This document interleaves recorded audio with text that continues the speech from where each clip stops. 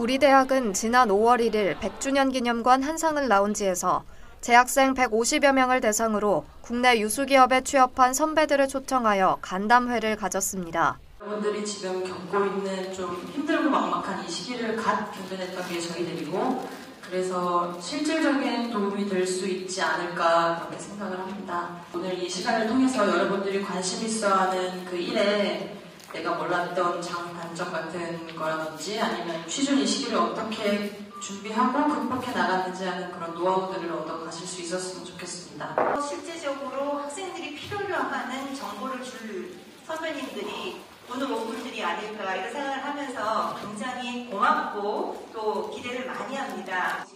멘토로 참석한 SYL은 우리 대학 졸업생 200여 명이 자발적으로 만든 젊은 동문 네트워크로 이번 행사에는 25명의 멘토가 참여했습니다. 이게 사실 저는 제일 중, 제 자신을 아는 거였거든요.